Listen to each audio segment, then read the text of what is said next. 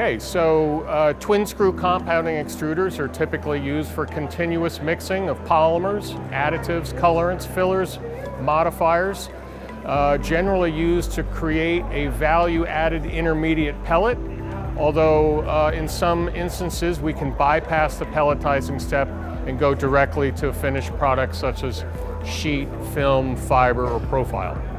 Uh, so the benefits of bypassing the pelletizing step and going directly to the, uh, to the end product, uh, there uh, is typically cost savings associated with bypa bypassing that pelletizing step.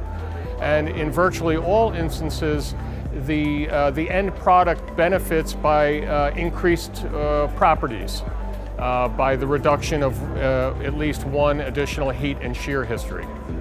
A few of the, the latest trends or the hot topics uh, in the twin screw business these days. Uh, a lot of activity around uh, bio, bioplastics, biopolymers. Uh, we're seeing a, uh, a, huge uptake in recycling activities. Of course, every day there are new thermoplastic composites being developed, a majority of these being developed on twin screw compounding extruders.